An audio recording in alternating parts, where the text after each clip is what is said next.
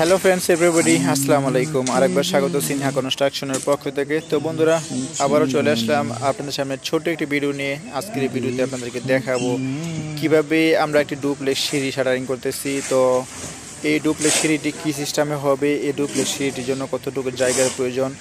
তো অবশ্যই আপনাদেরকে সম্পূর্ণ বিষয়বস্তুগুলো দেখানোর এবং বোঝানোর চেষ্টা করব। যতটুকু আমরা ড্রয়িং আসছে এতটুকু দেখানোর চেষ্টা করব। তো অবশ্যই সম্পূর্ণ ভিডিও জুড়ে আমার সাথে থাকবেন। তো দেখুন, এই সিঁড়িটি ঠিক এরকম হবে।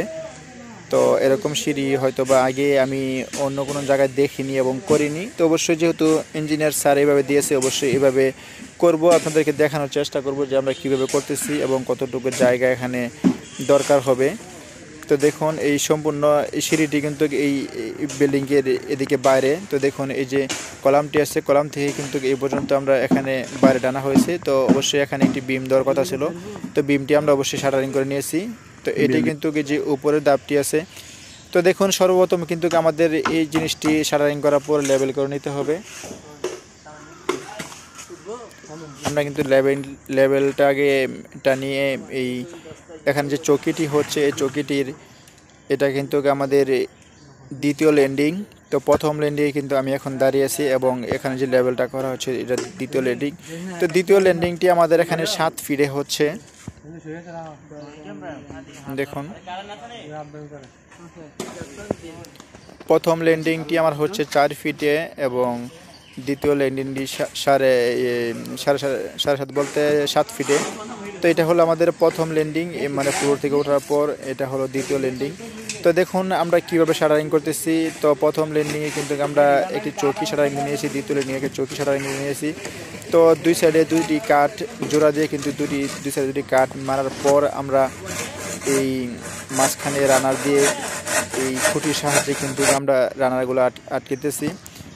তো আপনাদেরকে দেখানোর চেষ্টা করলাম কীভাবে শাটারিং করতে হয়। এখন রড বাঁধার আপনার বিষয়গুলো দেখে নিই। তো আমাদের এখানে যেহেতু চার ইঞ্চি পর পর রড বাঁধার কথা ছিল, তো অবশ্যই এখানে দশটি রডের প্রয়োজন। তো আমরা দশটি রড দিয়ে কিন্তু এখানে যদিও এই এই বারো মিলি এবং দশ মিলি রড দিয়ে করার কথা ছিল, আমরা সম্পূর্ণ রডগুলোই কিন্তু বারো মিলি ইউজ করেছি। তো ড্রয়িং অবশ্য এই যেই পাতালে যে রডগুলো আছে পোস্ত, দৈর্ঘ্য তো আমরা তো বারো মিলি রড দেওয়ার কথা ছিল বা চারশোটা তো ওইটাই দিয়েছি, কিন্তু এই আমাদের যে পোস্ত আছে, পোস্ততে আমাদের এখানে তিনশোটা রড দেওয়ার কথা ছিল, যদিও আমরা এখানে চারশোটা ইউজ করেছি।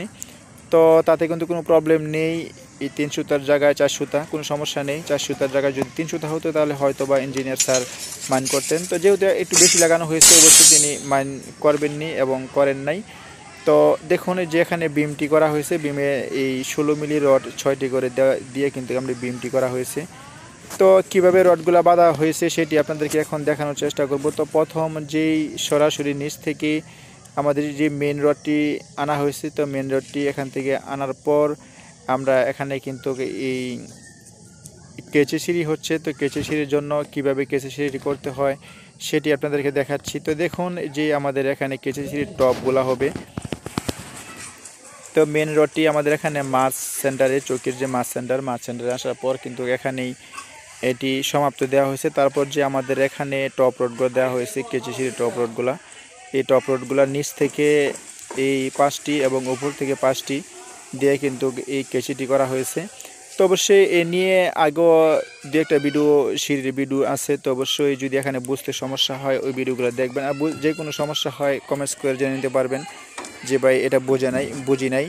তো অবশ্যই আপনাদেরকে, আমার যতটুকু অভিজ্ঞতা আছে আপনাদেরকে বোঝানোর চেষ্টা করব। তো এটি কিন্তু বিল্ডিংটির মূল সিঁড়িটি। তো এখান থেকে এখানে এই এদিক দিয়ে উঠবে। তো আমরা যদি বিল্ডিংয়ের ড্রয়িংটি দেখি, তো অবশ্যই আপনাদেরকে ওই সময় দেখেছিলাম যে সিঁড়িটি ঠিক এভাবে হবে। তো দেখুন, সিঁড়িটি ঠিক এভাবে হবে। এখন আমরা দেখে নেব যে আমাদের রডগুলো আসলে কীভাবে দেওয়া ছিল ড্রয়িংয়ে। তো আমরা এখান থেকে এই যেই লম্বা আমাদের মেন রডটি আছে, তো মেন রডটি কিন্তু এই পর্যন্ত এই মাছ সেন্টার পর্যন্ত এনে শেষ করা হয়েছে। দেখুন, আমরা এই চৌকির মাছ সেন্টার আনার পর কিন্তু মেন রডটি স্টপ দেওয়া হয়েছে। তো যদি আমরা এখন এই এই যে দেখুন, এই যে এই পর্যন্ত এনে শেষ দেওয়া হয়েছে, তো ড্রয়িংয়ে ঠিক এইভাবে আসিল। যদি ড্রয়িং ড্রয়িংয়ে ওই একদম লাশ মাথা বন্ধ থাকতো, তাহলে আমি কিন্তু ওই পর্যন্ত দিতাম। যেহেতু যেহেতু ইঞ্জিনিয়ার স্যার এই পর্যন্ত দিয়েছে, তার জন্য কিন্তু আমি এই পর্যন্তই দিয়েছি। তো অবশ্যই ড্রয়িং মাফিকেই কাজটি করতেছি। তো যদি আমরা দ্বিতীয় ইয়াটি দেখি, তাহলে দেখুন, এই যে এখান থেকে উপরে যে টপ ইয়াটি আছে, ওই যে দেখুন, নিচে কিন্তু আমরা ঠিক এভাবেই দেওয়া হয়েছে। এই যে নিচের রডগুলো দেখুন। এখন যদি আমরা উপরের লেয়ারের রডগুলো দেখি, তাহলে এই যে দেখুন, এখান থেকে এই যে ঠিক এই পর্যন্ত আনা হয়েছে। তো আমরা এখন দেখে নেব যে এখান থেকে ঠিক এই পর্যন্ত গেছে কিনা। এই যে দেখুন যে এই রডগুলো দেওয়া হয়েছে, আমরা কিন্তু ঠিক এই পর্যন্তই এনেছি। তো নিচ দিয়ে চারটি এই রডের নিচ দিয়ে এবং উপরের যে লেয়ার উপরের লেয়ারে বাকি পাঁচটি। তো ঠিক এভাবেই কিন্তু এই কেচে সিঁড়ির উপরে টপ রডগুলো দেওয়া হয়েছে। তো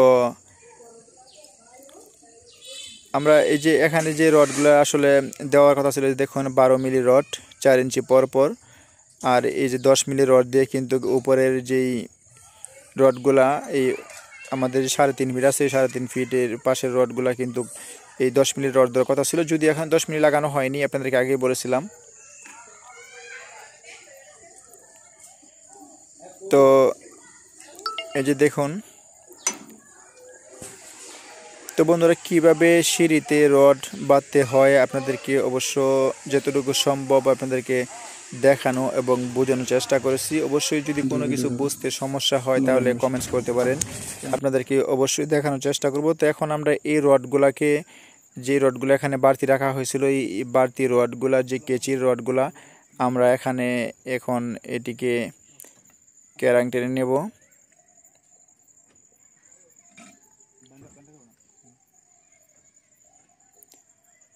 তো অবশ্যই সঠিক নিয়ম অনুসারে যতটুকু এখানে মাটাম দিতে হবে ওটি কিন্তু আমরা দিয়ে নিচ্ছি।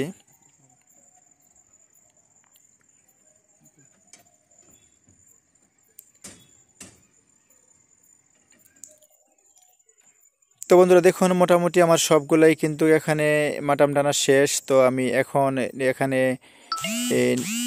তিনটি রড বাঁধার জন্য বলা হয়েছে, তো আমি এখানে অবশ্যই তিনটি রড, এই রডগুলোর নিচ দিয়ে বেঁধে নিব। তারপর কিন্তু আমার কাজটি মোটামুটি কমপ্লিট। তো অবশ্যই আপনাদেরকে দেখানোর চেষ্টা করলাম যে কীভাবে একটি সিঁড়ি শাটারিং করতে হয়। এই সিঁড়িটির জায়গা আসলে কতটুকু নিতে হবে অবশ্যই আমি আপনাদেরকে সম্পূর্ণ সিঁড়িটি কাজ শেষে আপনাদেরকে মাপটি দেখে নিব। অবশ্যই চ্যানেলটি পরবর্তী ভিডিও পেতে চ্যানেলটি সাবস্ক্রাইব করে রাখবেন। আজ এই পর্যন্তই বন্ধুরা, দেখা